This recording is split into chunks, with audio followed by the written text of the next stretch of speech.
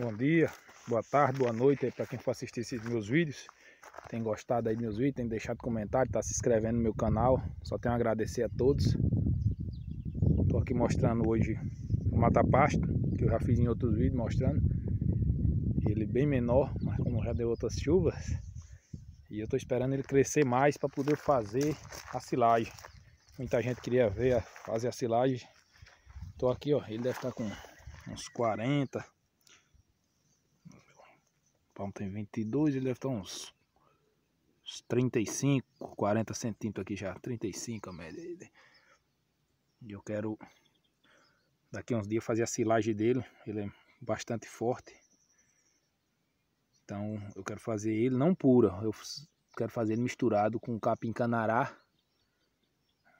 É, ensilar ele para a época da seca. Que a gente tem que aprender no Nordeste e não só no Nordeste, no Brasil inteiro, que tem, tem a, os períodos de chuva e o período de seca, né? A gente aqui no Nordeste não, é sempre é mais, a seca é mais prolongada que a chuva. Mas esse ano, graças a Deus, está um ano bastante chuvoso. Já aqui na minha roça já passou 200 milímetros esse ano, de janeiro para agora. Então, graças a Deus, ele tem nos ajudado bastante com chuva. E esse ano o mata-pasto vai crescer bastante. Aqui é uma área que a, as cabras, as ovelhas sempre dormem. E aí elas distribuíram as sementes aqui. Dentro do cercado tem muito espalhado. Então eu pretendo fazer bastante silagem esse ano de mata pasta.